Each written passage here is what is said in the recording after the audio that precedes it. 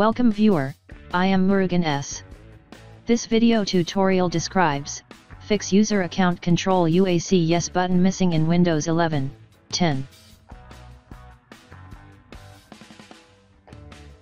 Click Start, Settings, click Update and Security, click Recovery, click Restart now.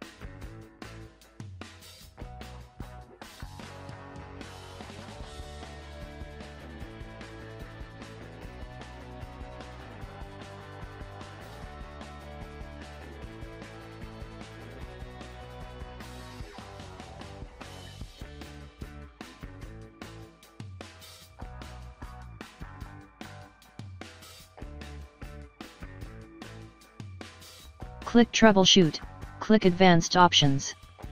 Click Startup Settings.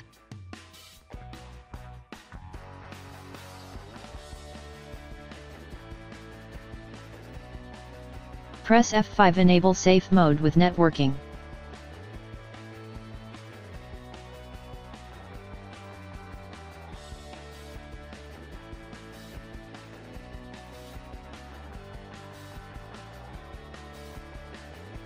Login with administrator account.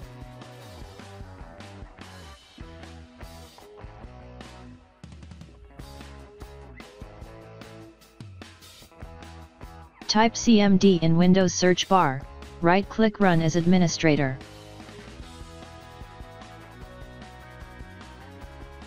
Type net space, local group space, administrators space, your username space, slash add.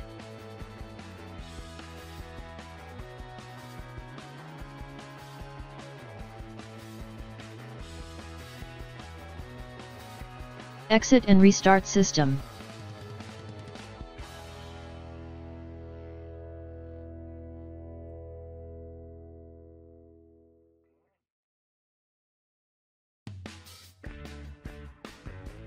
Login with your user account.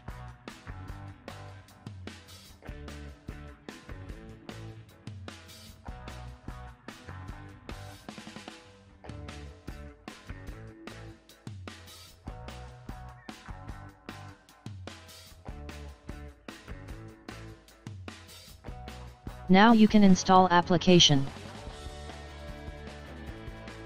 I hope this tutorial helps to you, please like, share and don't forget to subscribe our channel, thank you very much see you next video.